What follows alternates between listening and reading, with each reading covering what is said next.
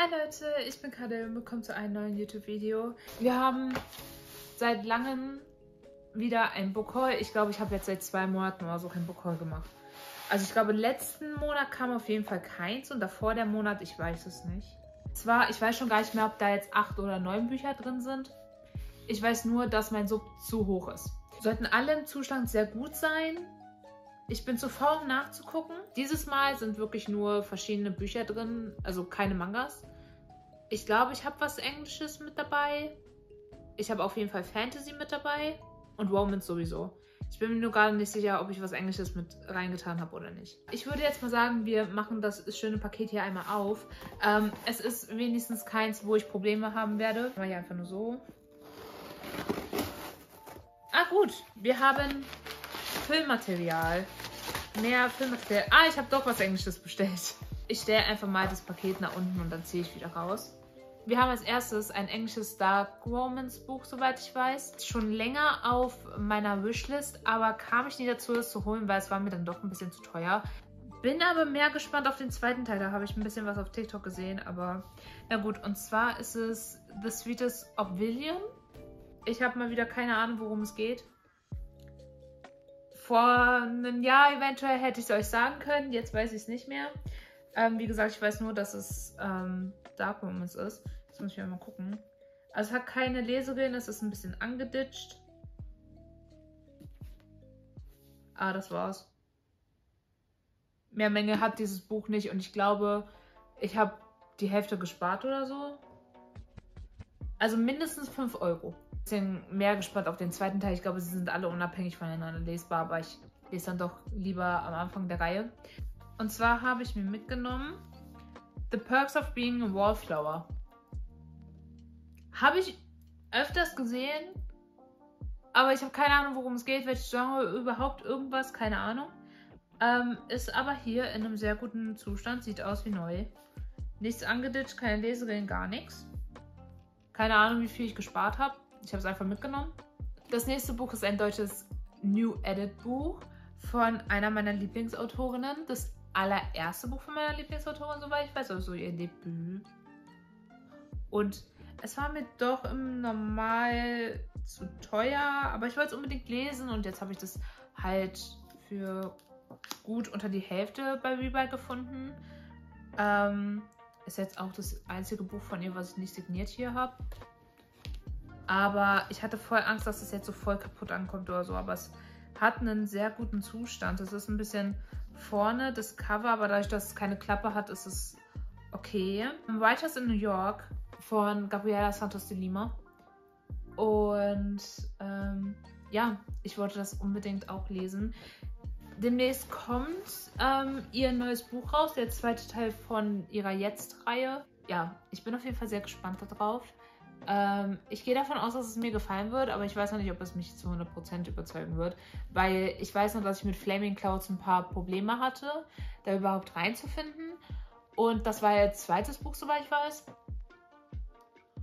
Und äh, dementsprechend kann ich mir vorstellen, dass es teilweise mich nicht so ganz überzeugen könnte. Vielleicht auch komplett umhauen. Entweder oder. Ich bin auf jeden Fall gespannt. Zwei Bücher mit Farbschnitt. Ich weiß nicht, ob der Farbschnitt normal ist. Fragt mich nicht, ich habe wirklich keine Ahnung. Ich habe die bisher noch nicht mal im Laden gesehen. Also jedenfalls bei mir nicht. Also eins von den beiden hat keine Leserillen. Das andere hat Leserillen. Ähm, aber sonst hat es einen recht guten Zustand. Dadurch, dass, dass die Cover so spiegeln, sind sie halt recht schmutzig. Also das passiert bei den Covern sehr schnell, deswegen ist es auch okay. Und zwar habe ich mir, und ich darf die noch gar nicht lesen, aber ich bin so gespannt darauf, weil ich mich schon gespoilert habe, um wen es geht, habe ich mir King of Scars und Rudolph Wolfes mitgenommen. Die soll man nach das Lied der Krähen und das Gold der Krähen lesen. Und das Lied der Krähen habe ich da. Das Gold der Krähen aber noch nicht. Das hat sich jetzt noch nicht so ergeben, weil das wollte ich auch bei Reba eigentlich holen, weil sie dann doch recht teuer sind. Die beiden hier haben Farbschnitt. Ich weiß nicht, ob das normal ist. Wie gesagt, ich habe die noch nie im Laden gesehen. Bei mir jedenfalls. Und ich bin auf jeden Fall sehr gespannt darauf. Aber ich werde das in der richtigen Reihenfolge lesen, auf jeden Fall. Ähm, ich werde nur mal schauen, wann ich zu das Lied der Krähen komme. Weil, also diesen Monat habe ich das jetzt eigentlich noch nicht vor. Aber wenn ich jetzt gut mit meinem TBA durchkomme und dann nicht weiß, ich würde nämlich gerne auch wieder was Fantasy-mäßiges lesen, dann werde ich wahrscheinlich dazu greifen oder nicht. Ich weiß es noch nicht. Ich habe ja noch ein paar andere Sachen da, aber na gut. Ah, dann kann ich direkt weiterlesen. Zwar hatte ich mal wieder Lust auf so Small Town Romance, was mäßiges. Ich habe noch einiges da, ja. Auch wenn ich jetzt sagen würde, mal was Neues. Ich habe was Neues da, ja. Ich habe sogar Neuerscheinungen da. Und zwar habe ich mir Still You äh, mitgenommen. Ja, habe keine Ahnung mehr, worum es geht. Wieso es auf meinem meiner Wishlist war, weiß ich auch nicht mehr. Das war, wo es rauskam auf jeden Fall. Ähm, und dann dachte ich mir so, ey, das kostet nicht viel, ich nehme es einfach mal mit. Und zwar das nächste Buch ist ein Debüt von einer Buchbloggerin, die ich sehr gerne verfolge. Ich habe aber ähm, ihr Buch nicht vorbestellen können bei der Graf Signier-Aktion. Und da dachte ich mir jetzt, ich nehme es mal ganz sneaky auf Rebuy mit. Hat auch einen sehr guten Zustand, das ist nicht angeditscht, keine Leserin, gar nichts. Und zwar geht es hier um Dawning Shadows.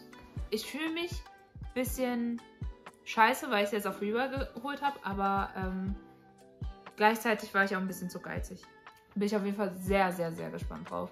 Also schaue ich auch einmal, wie das jetzt mit meinem Sub läuft. Ansonsten nächsten Monat sofort. Dann habe ich eben schon gesehen, weil ich nochmal wissen wollte, was habe ich denn sonst noch bestellt. Das nächste Buch kam mit einem Farbschnitt an. Und ist ein schöner Farbschnitt. Ich sage nichts gegen den Farbschnitt. Es, er ist wunderschön. Ich weiß nicht, von wo der Farbschnitt ist. Ich habe das dort nicht verfolgt gehabt. Ähm, Problem ist, jetzt passt es nicht zu den anderen Büchern, weil da habe ich natürlich keinen Farbschnitt. Und zwar habe ich mir den dritten Teil von The Secret Book Club geholt. Und zwar hatte ich die Reihe angefangen letzten Monat. Und ähm, sie gefällt mir wirklich gut. Und dann dachte ich mir so, ey, yo, wenn der dritte Teil schon drin ist, dann nehme ich ihn auch mit. Ähm, hat keine Leserin, ist nicht angeditscht und hat den Farbschnitt. Also passt jetzt nicht zu den anderen, aber ich freue mich natürlich auch, dass ich einen Farbschnitt habe, der irgendwo exklusiv war. Ich weiß noch nicht wo. Ich wusste nicht mal, dass es eine Farbschnittausgabe gab. Also es ist halt höchstens hier vorne am Cover ein bisschen angeditscht, aber das ist sonst auch ähm, das Einzige, was da dran ist. Ich habe, glaube ich, die Hälfte bezahlt oder so. Also ich habe gut was gespart. Und dann kommen wir zu dem letzten Buch, was ich jetzt auch schon ziemlich hinausgezögert habe zu kaufen. Ich weiß jetzt nicht, wie viel ich gespart habe, aber auf jeden Fall so viel, dass es für mich sich gelohnt hat. Und zwar, eigentlich wollte ich auch dieses Buch bei Graf vorbestellen in der Signieraktion, aber habe ich nicht getan. Ich wollte den ganz normalen eine Chance geben. Und zwar habe ich mir Kein Horizont zu weit von Alexander Flint geholt. Ich habe bisher die Bücher, die rauskamen, gelesen. Ich glaube, ich habe eins oder so nicht gelesen oder zwei oder so. Save Me in Marble Creek habe ich auch äh, gelesen. Das war aber eher so weniger meins.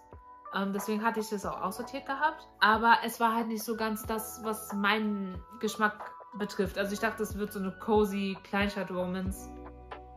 War es aber nicht. Das Ganze hier spielt auf Sylt. Und ich bin halt einfach gespannt, ob es in eine Richtung geht, die mir gefallen könnte oder nicht. Und wollte deswegen nochmal dem Ganzen eine Chance geben. Ähm, jetzt ist auch schon der zweite Teil draußen. Also ich denke, ich werde das in absehbarer Zeit lesen, um herauszufinden, ob ich dann weiterlesen möchte oder nicht. Oder ob ich dann, okay, New Edit, eventuell weniger Fantasy gerne. Und das war's auch dann schon wieder mit meinem Book Haul. Ein Raum tue ich morgen für mich, aber ich werde es wahrscheinlich mit aufnehmen. Also seht ihr das im Vlog von dieser Woche. Also könnt ihr da gerne draufklicken. Ähm, ich kann ihn auch gerne nochmal am Ende verlinken. Und zwar war es das auch schon wieder mit dem Video. Wenn euch das Video gefallen hat, könnt ihr mir gerne einen Daumen nach oben da lassen. Ansonsten könnt ihr mir gerne in die Kommentare schreiben, welche Bücher ihr davon kanntet oder welche vielleicht auch schon auf euren Sub sind, was ihr davon gelesen habt und wie ihr es fandet oder so. Ansonsten in der Woche kommen immer drei Videos online, deswegen könnt ihr gerne meinen Kanal abonnieren. Und wenn ihr nicht genug von mir bekommen könnt, dann checkt gerne in der Videobeschreibung meine Social Media Links ab. Ansonsten sehen wir uns am Samstag zu meinem Neuzugangsvideo wieder. Und bis dahin, tschüss!